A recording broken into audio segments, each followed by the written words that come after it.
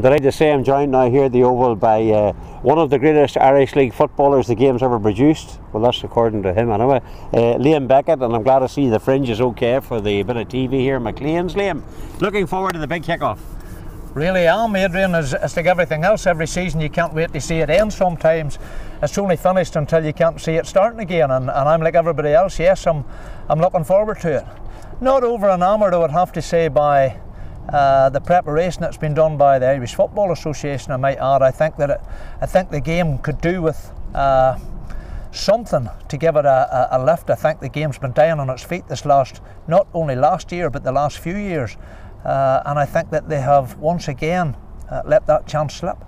Now, you obviously will uh, talk about that in your column in the News Letter and of course in your, your role as a as a pundit for BBC Radio Ulster. And when you look at it, I was making the point earlier to Stephen Beacom of the Telegraph, the local media do an awful lot of good for the local game, but yet sometimes the authorities do let us down. Well, I couldn't agree more, and I think you've nailed it uh, perfectly. I think the media do all in their power because let's be honest, we all love the game and, and we try to promote it as best we can. But you know, it has to it has to come from the top. It has to come from the Irish Football Association. I think the split has outweighed its usefulness. I think that this top six split was a good idea at the time. I was all for it. I think, like everything else, uh, change is needed, uh, and I would very often propose changes, but I don't know. The people at the IFA just don't seem to, to listen, you know. And, and uh, I think this, our saving grace last year was was uh, how Cliftonville played, how well they played the classy brand of pass and slick football they played, uh, and the introduction of Ballinamallard, who people thought they're only in here and they'll try and survive this year. Survival has to be their first aim. Not only did they survive, they ended up in the top six. Tremendous achievement. People really relished the challenge of going to Ballinamallard. Uh, it's a three-day pony trek from Ballymoney where I live, but I still look forward to it because they're great people down there. They're just ordinary people, and I think Ballinamallard and Cliftonville I think they saved our season last year. Now you talk about the IFA, and of course the IFA have basically transported the uh, responsibility for the league to this new uh, league setup, and I know they've got plans for, for launches, but I still go back to it, Liam. A launch two or three days before the kick-off, it's not enough. It should be it should be on a weekly basis, you know. And, and I, I feel we didn't make even enough out of our, our success in Europe. I agree totally. I agree totally. I think the clubs have really performed heroically in Europe uh, pre-season uh, especially Linfield, you know, and, and so unlucky to go out on away goals. And I think that, you know, the clubs can do so much, the media can do so much, the fans can do so much, but we must get leadership from the top. And whoever's in charge of that, you know yourself, you've been in this game a long time, you know the football game inside out, and it needs to be promoted, and it needs to be promoted by the powers that be. And I think we lack that. And, and you need to try things. What's wrong with summer football for a couple of seasons? Do we see how it goes? Puts us on a par with the likes of Derry City, with the likes of some of the other European clubs, gives us a better chance when Europe comes around to be more competitive, uh, and it also maybe suits the fans better. Uh, nothing ventured, nothing gained. If it's not a success, we can revert back to the old methods. But you've got to try something.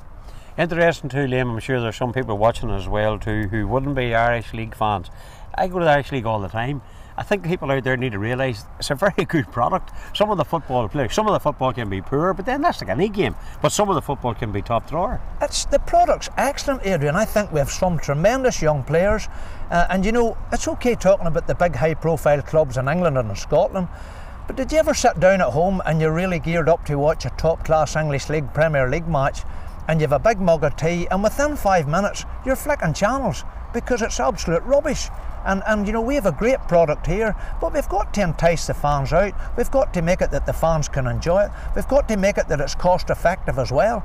You know, a, a parent taking in a couple of lads or whatever, or, or, a couple of children to a game, it must be that there's there are incentives there to bring the family out because we have to look at the new generation of fans. I think youngsters, to be honest, under a certain age, should be free. If they're along with a paying adult, I think they should be free. There That's are not unusual, Liam. You know, the GA have been doing it for years. Of like, course, you know, the and, GAA, and all sports should be learned I couldn't agree more. Yes, they should all be. It should be one sport and family, and we should be able to see how effective it, it, it is in other sports and take that and, and let them lead by example and follow suit if it's a success.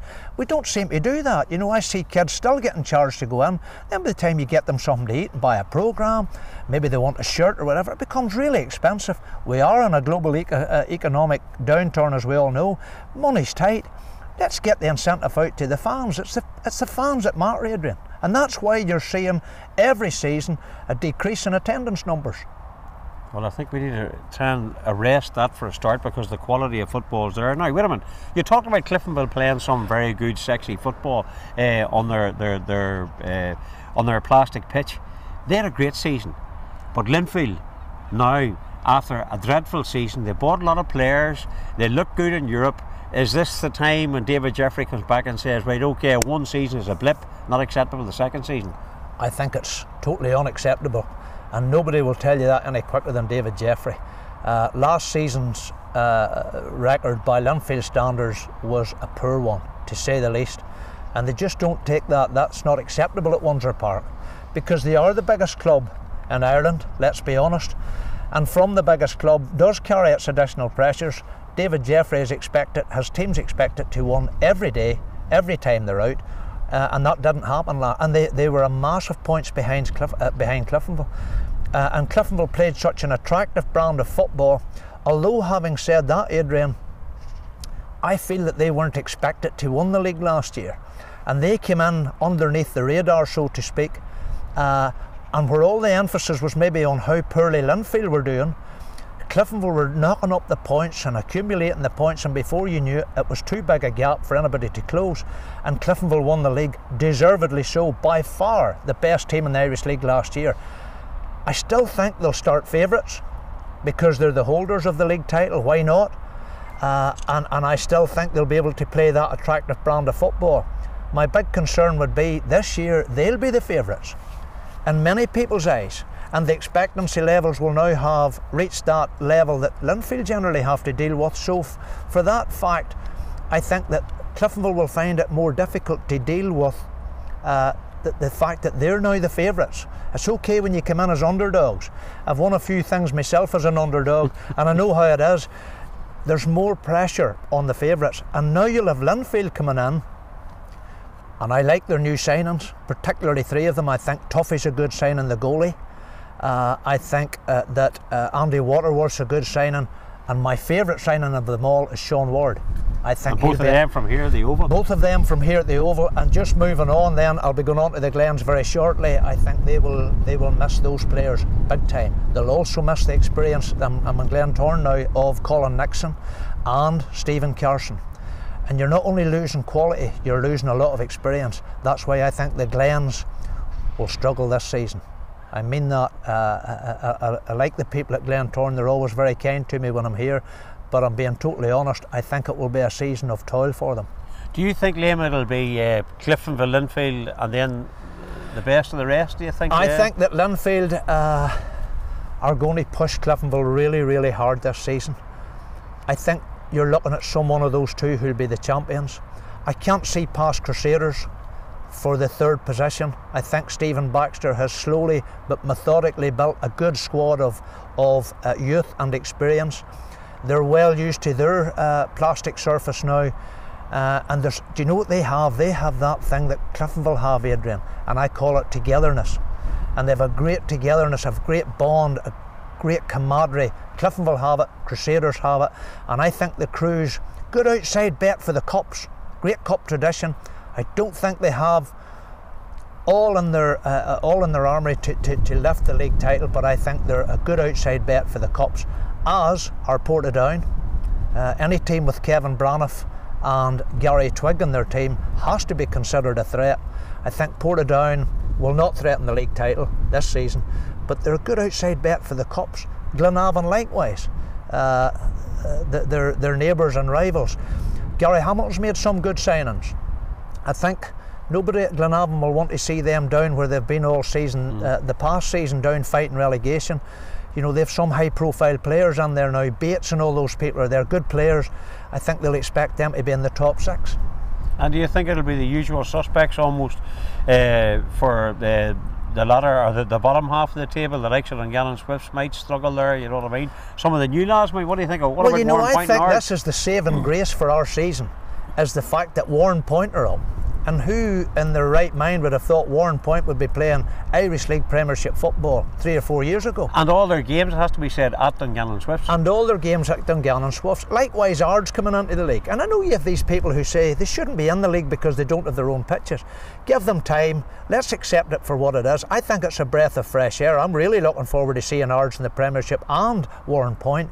And as for Dungannon Swifts, I think there should be medals struck for that McAree family and, and the rest of the boys up there that run that place because they have a small fan base, they have an excellent pitch, a really tidy, spotless ground, small fan base, and small player budget. And yet, every year they manage to survive. They manage to provide Premiership football for the town of Dungannon, and I, I think that's an absolute credit to them. I think also too, uh, on a small point, they've installed a brand new plastic pitch uh, for training facilities. That's bound to help them, Liam. I was speaking to Joe just he rang me there about that, and he was telling me all about it, and, and that'll help them, yes, and it might even help them, you know, generate some income because you do need. That's one thing Irish League football's crying out for is proper training facilities for Premier League clubs. Uh, and then they can generate some interest. If, if, if, it is a 4G pitch, they can obviously let it to the public and so on. It's a good form of generating uh, uh, some income. Uh, Joe McAree, I think, has done wonders at Dungannon Swifts. And whilst the McAree family are still up there, I think that that club will be. I just think that they're a great club for the younger, uh, up and coming clubs with a small fan base, but aspirations of being a Premier League club. I think take a look at Dungannon see how their infrastructure works, take a leaf out of their book, do it that way, and you might you might succeed. Now I'm going to have to ask you here to uh, just really broaden your imagination here, and imagine that Joel Taggart has given you a favour. Okay, which is a, a really, really stretching the imagination. So You're Joel really Taggart, yeah, now, really, we're really pushing it out here now. Liam. So Joel's given you a favour. Who's going to win the Irish League? I'm going to have to say Linfield.